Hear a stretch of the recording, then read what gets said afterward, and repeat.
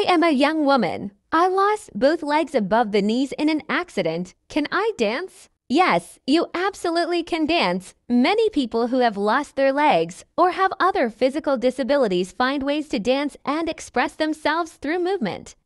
There are various styles of dance and adaptations that can be made depending on your comfort and mobility. For instance, wheelchair dancing. You can use your wheelchair to dance, combining movements of your arms, torso, and the wheelchair itself. Partner dancing. If you use prosthetics or crutches, you can find a partner who can support and work with you to create beautiful movements together. Floor work. This style of dance focuses on movements on the ground, allowing you to explore your body's range of motion without needing to stand.